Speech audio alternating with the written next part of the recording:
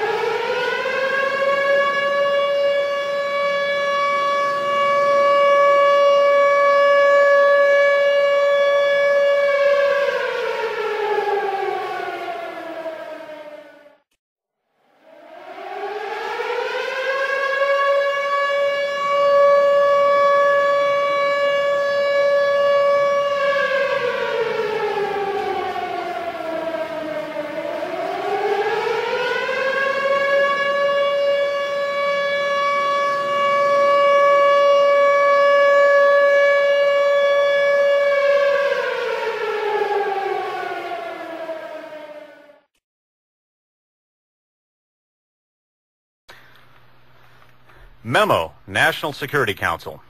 The minority has adopted an almost military posture to gain its objectives, which are not clear to most Americans.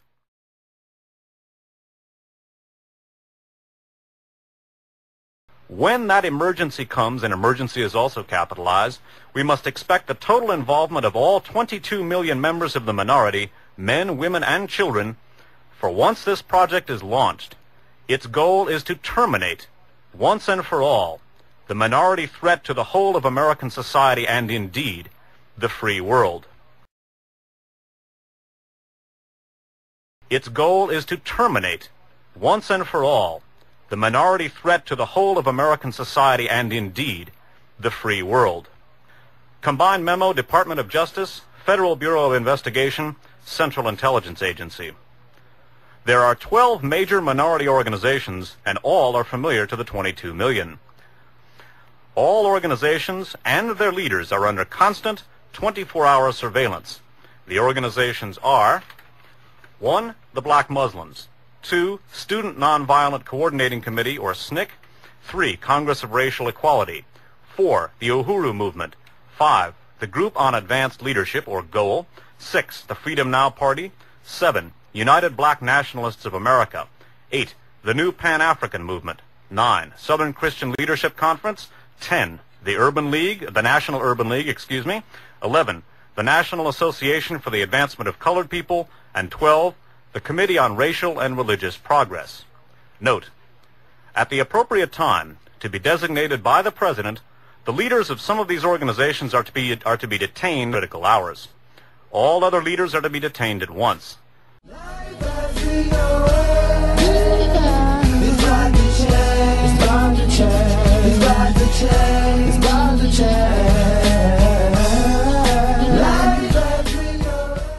Compiled lists of minority leaders have been readied at the National Data Computer Center. It is necessary to use the minority leaders designated by the President in much the same manner in which we use minority members who are agents with central and federal, that of course uh, interrupting refers to the CIA and FBI, and we cannot, until there is no alternative, reveal King Alfred in all its aspects. Minority members of Congress will be unseated at once. The clock is ticking, son. You have no time.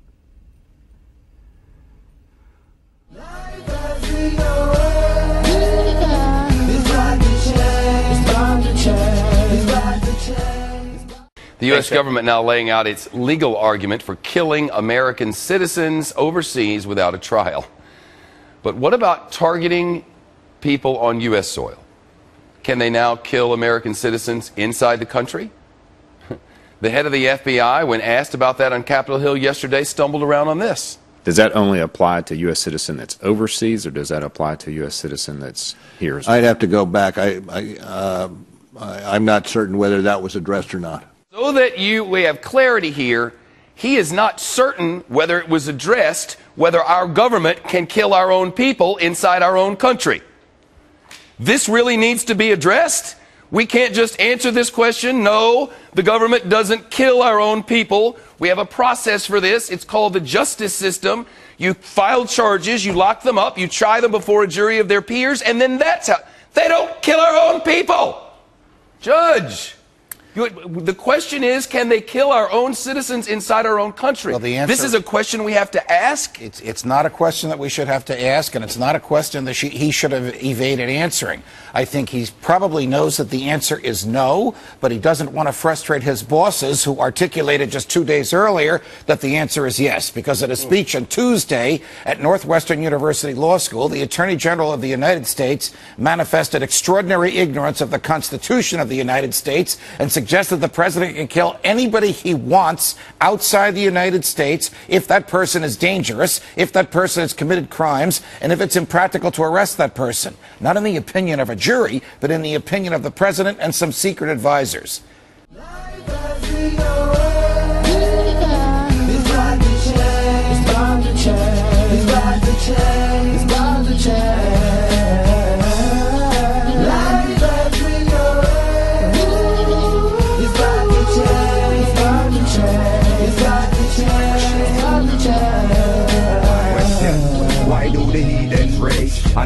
Them imagine vain things. The kings of the earth and the rulers seek counsel. The Constitution says to the contrary. The Constitution says if the government wants your life or your liberty or your property, it has to articulate to a jury what law you have violated and prove its case beyond a reasonable doubt to that jury. It's called due process. Without due process, the government could take anything it wanted and kill anybody it wanted. And Attorney General Holder ought to know that. I suggest that Bob Mueller does. And the reason he evaded that answer is because he wants to keep his job. Well, you heard what Eric Holder said. He said there is due process, but there is not due juris something or other. Judicial process. Not judicial process. What the Attorney What? General said, let me make his argument. His Yeah, I wish you argument, his argument is that there is a substituted form of due process. That if the president and his advisors carefully consider the danger of a human being and conclude that that human being needs to be stopped before that person causes any more danger, then the president can kill him. That's their argument. There is no case law that stands for that. There is no statute that authorizes it, and it directly defies the Fifth Amendment to the Constitution. Sounds like a crime against humanity. What's the difference between that and what Bashar al Assad is doing to his own people? What is the difference? Nothing. What's the difference between killing somebody, an American with a drone in, in Yemen and killing an American with a drone in Peoria? Nothing. Right. Same argument that Eric Holder made at the uh, Northwestern Law School on Tuesday uh, about uh, Al-Awlaki in Yemen could be made about somebody in Peoria tomorrow. You make an illegal lane change in Hollywood on the 101 freeway, and a drone will just shoot you out of the sky and throw you, you know, bury you. Well, I don't know that it's going I to don't- come- I don't know either, but who'd have thought we'd to ever that. get to hear? Who, who would have thought that we'd even be having a conversation like this? That the attorney, that the head of the FBI would hesitate to answer a question that is so imbued in our history and our law and our values. Due process precedes punishment. That he can't answer that in public. And we're worried about contraception. Uh, uh, correct. Correct. We do not have our priorities straight. The last time the federal government claimed that it could kill Americans was in the Civil War. And even Lincoln said it could only be done in during combat. This federal government, this administration says it can kill Americans when they're riding with their children in a car in a desert. I don't know, Judge. Thank you. You're welcome. Keep watching them, please. Of course. Thanks for having me. You know you're the enemy, yes.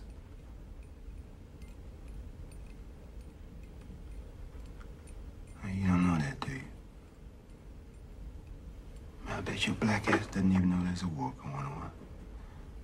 And I'm not talking about the war on crime and drugs. I'm...